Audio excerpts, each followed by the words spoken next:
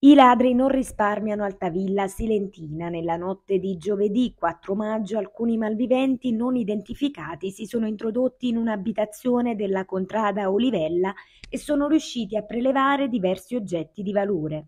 Hanno portato via di tutto, anche gli oggetti che rappresentavano gli ultimi ricordi che avevo dei miei nonni, ha lamentato la proprietaria dell'abitazione.